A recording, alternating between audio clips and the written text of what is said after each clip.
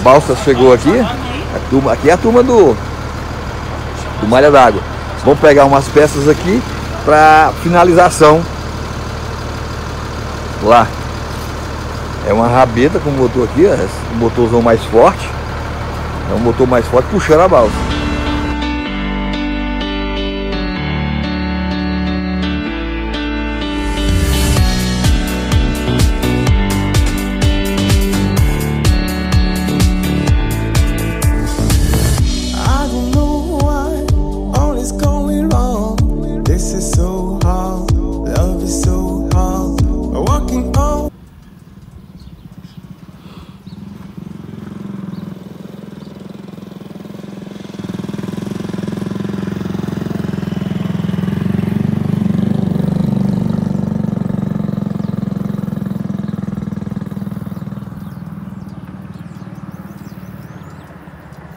Aí, aventureiro, nós estamos aqui no açude, né? Vocês lembram daquele, aqueles pesos que tinha aqui?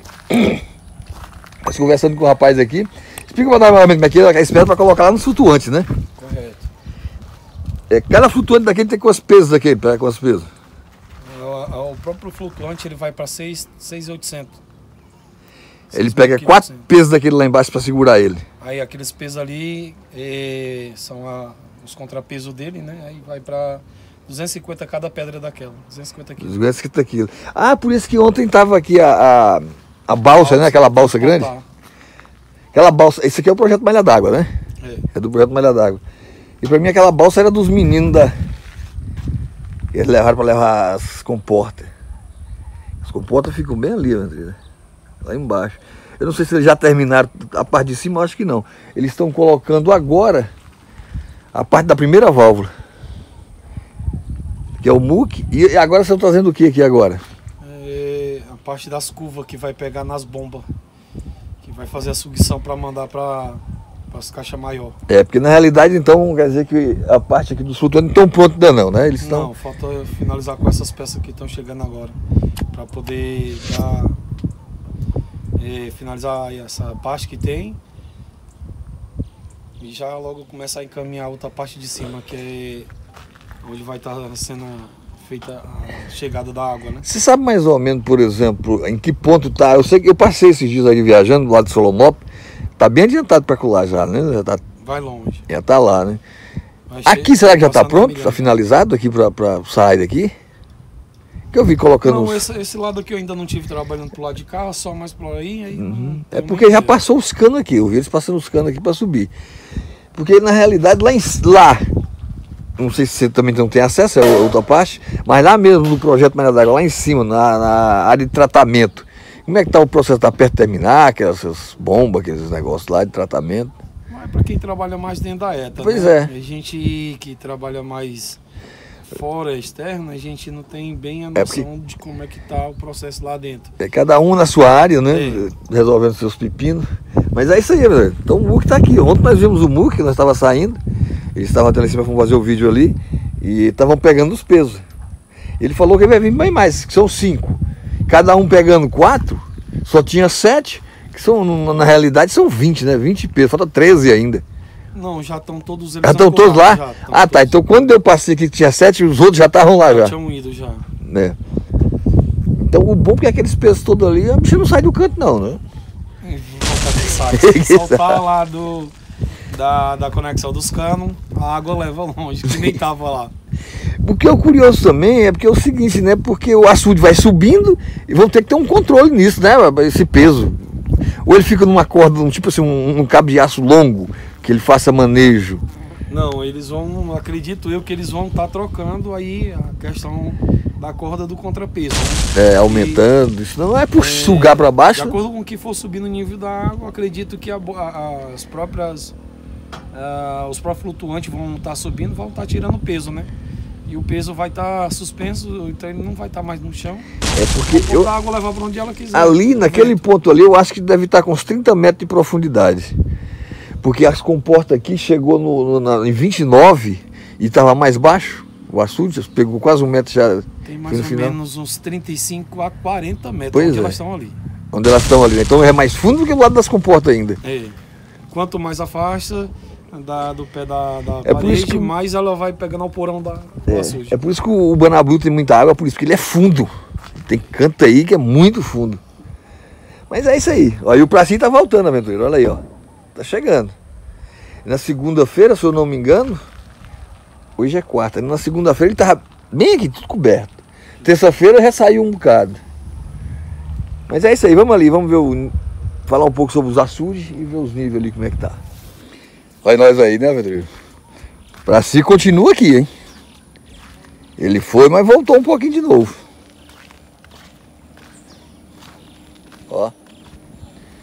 Vamos dar uma olhadinha na régua aqui logo, de uma vez.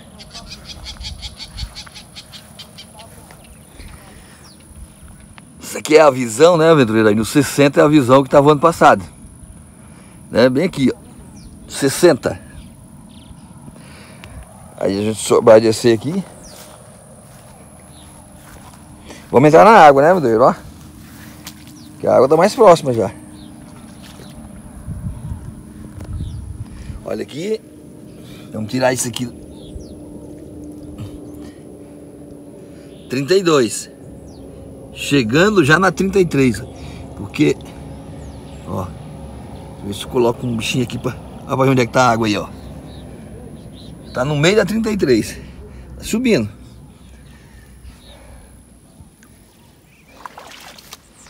Já subiu um pouquinho. De manhã pra cá. 7 horas da manhã o rapaz tirou, tá na 31. Então já aumentou mais um centímetro. Tá na 32. Vamos voltar. Vamos procurar um lugar para nós fazer nosso vídeo hoje. Falar um pouco dos outros açudes.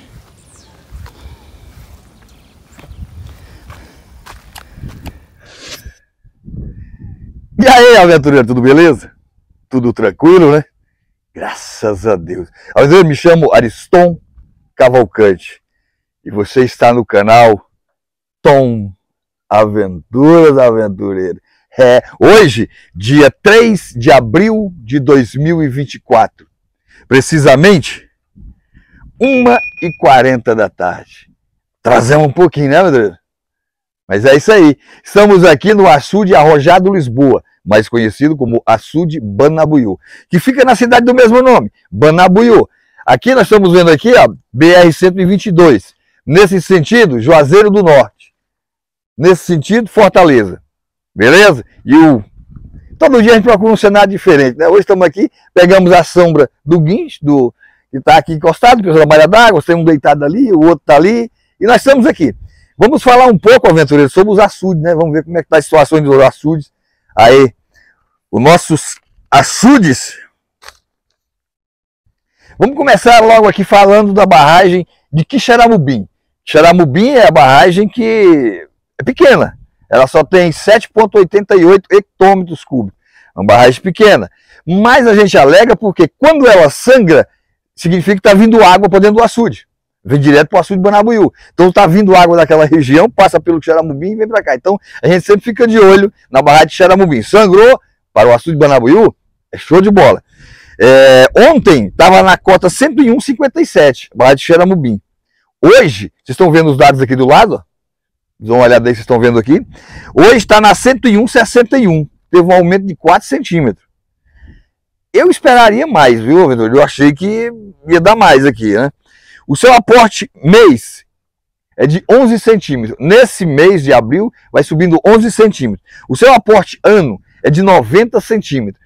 Desde hoje, a barragem do Xeramubim tem 90 centímetros de altura a mais de água do que tinha no dia 1 de janeiro de 2024.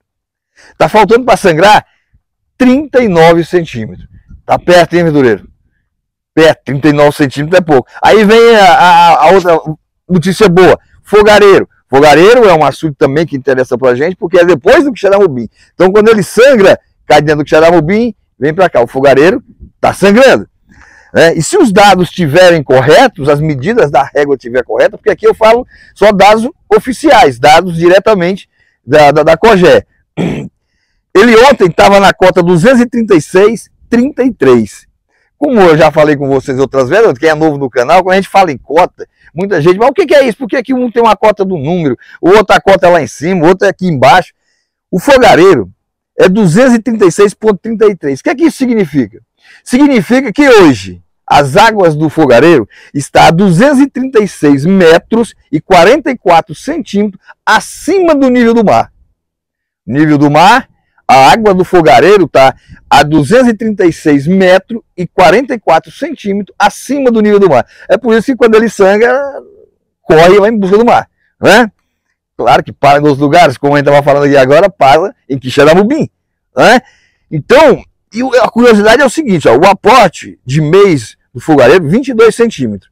O aporte ano é de 1,45m. centímetros. Quer dizer, as águas do fogareiro hoje está com 1,45m centímetros é, a mais do que ele tinha no dia 1 de janeiro de 2024. Agora, a curiosidade que eu falo se tiver certo é o seguinte, olha só. Pelos dados das cotas que está mostrando aqui, é, ele sangra na 236 e 20, régua 236 e 20 significa que o fogareiro está sangrando com uma lâmina de 24 centímetros. Entendeu? 24 centímetros é muita água. Imagina uma régua, aquela réguazinha que a gente tem, 30 centímetros, você tira 4. Aí a maior curiosidade, você sabe a largura do sangrador do, do, do fogareiro? Porque o sangrador tem que ser reto. 160 metros, aventureiro. Você imagina? 160 metros saindo uma lâmina de 24 centímetros? É muita água, aventureiro. Muita água. Por isso que às vezes eu fico, mas será que esses dados estão certos? Dados COGÉ. Ok? Se tiver errado, nós vamos para lá. Então vamos passar aqui para o nosso outro aqui, agora do lado aqui, do lado aqui, Araras. Tá vendo aqui? Açude de Araras. O açude de Araras ontem, ele estava na 152,35. Cota 152,35. Hoje está na 152,42. Um aumento de 7 centímetros. O Açu de Arara é grande, é o quarto maior reservatório do estado do Ceará. O seu aporte mês é de 14 centímetros. O seu aporte ano é de 1,55m. Está faltando para sangrar 58 centímetros. E aquela região norte ali, é, litoral, está chovendo muito, choveu muito. Né? Deu uma paradinha agora esses dias, mas começou, começava a vir água, Arara sangra esse ano de novo. Né? Agora vamos falar do nosso aqui, né? Banabuiú. Esses dados que eu estou falando aqui agora, o Banabuiú ontem estava na 130,29 régua, é, cota 130,29. Hoje, às 7 horas da manhã, o rapaz tirou, estava na 130,31. Aumentou 2 centímetros. Só que eu já olhei ali agora, já está na 32. Né? Mas vamos continuar com os dados de ontem, falando 31, e amanhã a gente já só para saber que pelo menos um centímetro já subiu. Pode até baixar daqui para de tarde, mas eu acho que vai aumentar mais. Né? O Banabuíto um aumento de 2 centímetros. O seu aporte mês é de 2 centímetros. O seu aporte ano é de 37 centímetros. É muito difícil a gente falar sobre isso, eu sempre estou falando nos vídeos. Porque as pessoas perguntam assim, é... as pessoas mais simples perguntam, como é que, quanto já pegou de água? Como é que tá as águas do Banabuiú? Aumentou muito. Aí você fala assim, é, 32, 32 centímetros. 37 centímetros. Não, pegou muito mais. Teve só um dia que deu mais 10, 10 centímetros. O outro dia. Sim, mas eu, eu trabalho em cima de aporte. O que, que é o aporte? O que ganha menos o que perde. Então o Açude ganhou. Eu, ontem, ontem, no vídeo de ontem, eu falei, eu, eu chequei um por um e ver quanto ele tinha ganho deu 60 e alguma coisa, quase 70 centímetros de ganho de água. Só que ele perdeu também. Então ele fica com um aporte só de um lucro, o saldo de 37 centímetros. Está faltando para sangrar, 4 metros e 19 centímetros. Ano passado nós chegamos na 131,60. Vamos tentar para ver se chega aí. Abriu em chuva por aí, né? É para vir chuva. Vamos falar do segundo maior reservatório aqui do estado do Ceará. O Oroz. Ia chegar numa rabita ali, mas não atrapalha não. O Oroz, ontem estava na 195,74. Deu para ter noção mais ou menos, meu Ó, Oroz, 195,74 significa as águas do Oroz está a 195 metros e 74 centímetros acima do nível do mar. Mas isso dado de ontem, porque o de hoje já é 195,77. Aumentou 3 centímetros, aventureiro, de ontem para hoje. O aporte, mês, do Oroz é 7 centímetros. O aporte ano é de 42 centímetros. Está faltando para sangrar 3 metros e 73 centímetros. O açude do Oroz. Só que o açude do Oroz é um pouco mais largo. Então os metros é mais complicado. Ele está tendo uma vazão hoje, soltando água para o feiticeiro e, e para o Lima Campos, soltando uma água total de 1.184 litros de água por segundo. Cada segundo, 1.184 litros de água. Vamos aqui agora para o Castanhão, para a gente já encerrar, porque o vídeo não ficar muito grande. O Castanhão está na cota 89,77 ontem. Hoje está na 89,83. Você já viu, deu para ter noção, meu Deus? É, o Castanhão, ele é bem mais baixo. 89, 83. Enquanto a gente estava olhando aqui, por exemplo, o fogareiro é 236 metros e 40. Quer dizer, o fogareiro é lá em cima, bem mais alto. O castanhão está mais baixo. É, o, o castanhão teve um, um aumento de ontem para hoje de 6 centímetros. Aumentou 6 centímetros. E é muita água, velho. 6 centímetros dentro do, do castanhão é muita água. O seu aporte mês é de 17 centímetros. O aporte mês, é agora do dia 1 de, de, de abril para cá. Hoje é 3, quer dizer, 1, 2, 3. Esses três dias aumentou 17 centímetros. Aporte ano, 1,85m. Já aumentou mais, né? Sangra, tá faltando para sangrar 5 metros e 17 centímetros. Para as águas chegarem nas comportas. Porque na realidade, eu sempre falo isso aí. Banabuiú e, e Castanhão, eles não, não têm sangrador, ele não sangra. Ele veste, é vertedouro. Por quê? Porque tem a comporta que fecha. Você segura e solta quando você quer. Então, se você solta quando você quer, você está vertendo quando quer. Então, é vertedor. Sangrador é o horóis. Chegou ali, vai embora. Não tem como segurar a água, não. A água chegou, vai embora. Agora vamos falar um pouquinho também aqui dos outros açudes. Hã? Por exemplo, sangrando. Hoje nós temos sangrando no estado do Ceará 39 açudes sangrando. 15 açudes está com no, mais de 90% da sua capacidade. Quer dizer, está quase sangrando também. Tem 15, quase sangrando. Agora tem 33 com a capacidade a menos de 30%. É o caso, por exemplo, do Banabuiú, que está só com 28%. Então, menos de 30%. Beleza? Valeu, aventureiro, show de bola. Não deixou seu like, não? Deixa o like aí.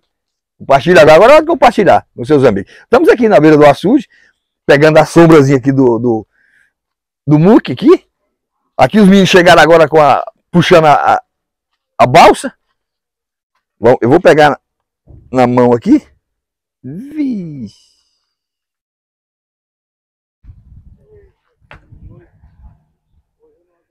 E é isso aí.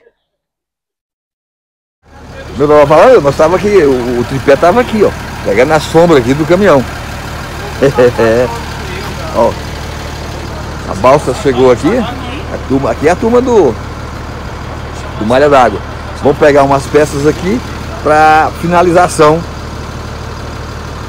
lá. É uma rabeta com motor aqui, ó, um motorzão mais forte. É um motor mais forte puxando a balsa. E é isso aí. Turma toda trabalhando. Sou de Banaúio.